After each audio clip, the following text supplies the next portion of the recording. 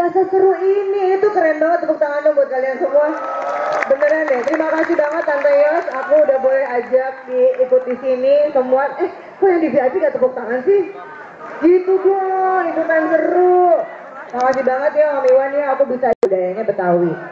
Om Iwan kenapa sekarang punya concern terhadap budaya sampai bikin lagu khusus sama Tante Yos? Terus kenapa tahun ini kita ngangkatnya mengenai budaya? Senang banget loh ada seniman sebesar Om Iwan yang punya kepedulian sama budaya karena selama ini selama ini kita seniman-seniman yang budaya itu jalannya tuh terseok-seok banget gitu kalau untuk melestarikan budaya. Silakan Iwan. Alhamdulillah saya punya lingkungan yang sehat. Jadi istri, teman-teman gitu. Mereka banyak ide, ngasih-ngasih ide. Kalau saya ya cuma genjreng aja. Cuma cuma genjreng aja begini coba gimana kalau nggak? Mudah-mudahan ya jadi perekat kita semua. supaya Lebih kompak, lebih sadar tentang lingkungan, tentang manusia lain, tentang semesta. Dan kalau soal manusia kan macam-macam orang ya banyak-banyak banyak kebiasaan. Dan saya kurang kurang paham tentang itu. Tapi istri saya sangat te- tertarik. Dia baca-baca tentang itu. Pengen ke Mesir lah, pengen lihat piramid lah, pengen ke pengen ke mereka. Kena keringat bukan mewek aja. Kenapa sih Iwan Fals kan juga manusia mewek dikit nggak apa-apa kali ya?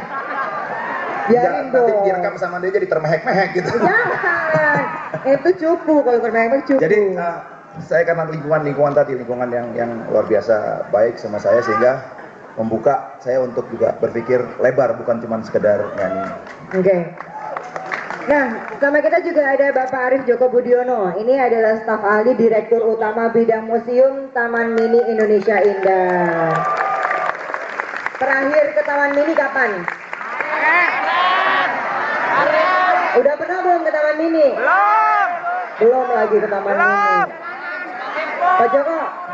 Ya, Pak Joko kita ngobrol dulu. Ini kan judulnya situs budaya Desa Pampang Samarinda. Benar. Ada yang tahu nggak situs budaya itu apaan sih?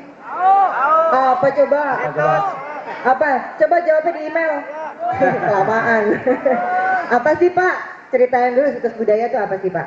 Situs budaya seperti yang dinyanyikan oleh Bang Iwan tadi bahwa situs budaya itu adalah struktur bangunan atau kawasan bangunan yang dibuat oleh manusia dari zaman peradaban dahulu sampai sekarang dan dilestarikan. Jadi cuma rumah doang namanya situs Ya, budaya. sama kawasan geografinya, sama sawahnya, sama tempat bercocok tanamnya juga. Sama lingkungan-lingkungannya. Betul, sama lingkungannya. Candi tanaman-tanaman. Borobudur, Ya sama, apalagi contohnya berarti situs budaya? termasuk. Lori Ya. tebu. Apa tuh lori tebu? Ya. Oh kereta-kereta, alat transportasi Jadi juga. budidaya manusia berkat cipta, rasa dan karsa itu adalah cagar budaya. Cagar budaya. Terus tadi, ini kan Om Iwan dengan tiga rambu bikin konser ini tuh untuk melestarikan atau mau ngasih tahu nih ke para oi oi oi ini nih Ya, ya.